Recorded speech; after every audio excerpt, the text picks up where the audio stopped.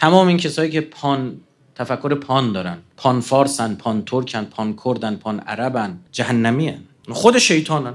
شیطان میگه خدای من از آتیش آفریدین و گل. نژاد من برتر. همین احمقا هم بری آزمایش ژنتیک ازشون بگیری همون نژادم نیستن ها. اما متاسفانه هست دیگه این اندیشه. توسط دشمنان خدا همیشه رو زمین پخش شده. هم نژادت که هیچ عزیز من اون که سهله. باباتون دنیا نمی‌شناسد داداشت نمی‌شناسد. تو میمونی و اعمال تو خدا. جامعه امام حسین دوباره عشیره گرا شد. از زمان خلیفه سوم خیلی رشد کرد. که عثمان رسما فک فامیلش یعنی فامیل عثمان بودن دلیلی بود برای اینکه پست بگیری شما.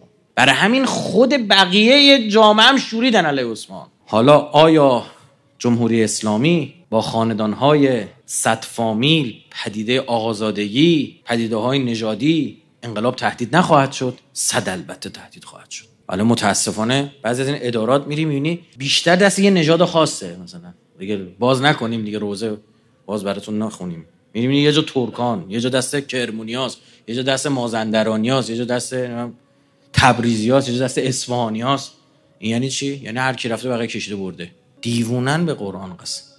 والله العلی العظیم. چه عذابی خواهند داشت. یه موقع است تو این آدم واقعا صلاحیت داره. واقعا صلاحیت داره و بحث جداست فارغ از این ممکنه یه ترکی باشه یه ترک دیگه هم صلاحیتش رو بیا اینجا.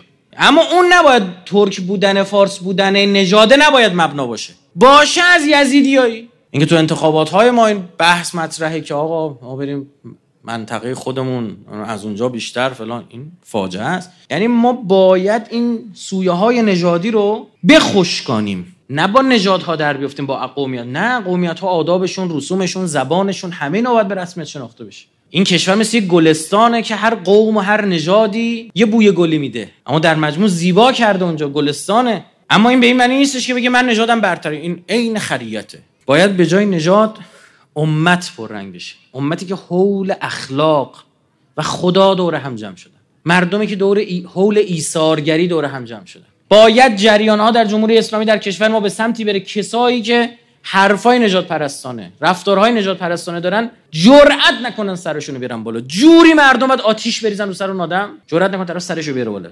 جرأت نکنه. نباید جوری باشه کسی جرأت کنه به نژادی توهین کنه. این از تو کربلا در میاد.